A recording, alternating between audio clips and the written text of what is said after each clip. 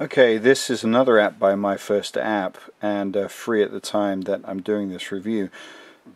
This is called Slide and Spin, and the reason I'm doing this is because uh, uh all everything on the screen is is is exactly is the entire app.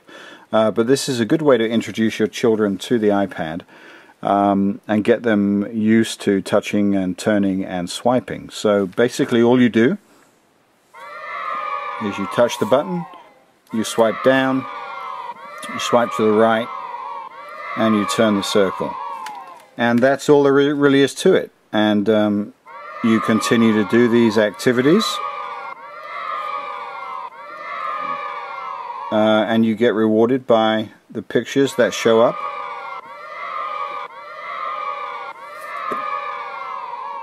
in the screens at the top. So very simple, very basic